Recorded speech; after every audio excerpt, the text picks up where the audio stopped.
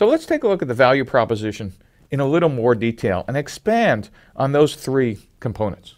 The first one is your product, and as we said earlier, you need to understand which are part of your value proposition. Is it just hardware or software or bits?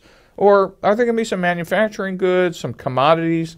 Are you going to have intangible products that are part, copyrights and licenses that are part of your value proposition? Are you going to have any financial products, that is, guarantees or insurance policies or maintenance contracts? Or are you going to add some digital features as well? The only point here is to realize that your product and service is not just the bits or hardware, it's actually the whole product, the entire package uh, that you're going to be delivering.